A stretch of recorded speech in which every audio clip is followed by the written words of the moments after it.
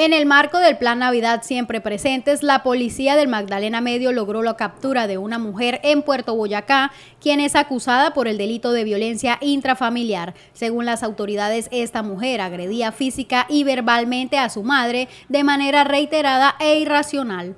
En el marco del Plan Navidad Siempre Presentes, nuestras unidades de la seccional de protección y servicios especializados la Unidad Básica de Investigación Criminal en el municipio de Puerto Boyacá logran la captura de una persona de 42 años por el delito de violencia intrafamiliar.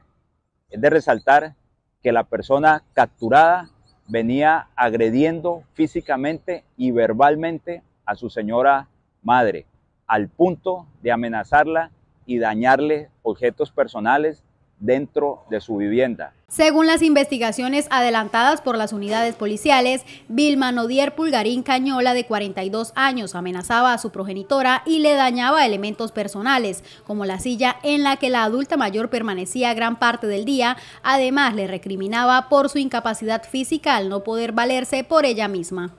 La adulta mayor, víctima de estos hechos, fue dejada en custodia de un familiar. Como Policía Nacional no toleraremos ningún hecho de violencia en contra de la mujer.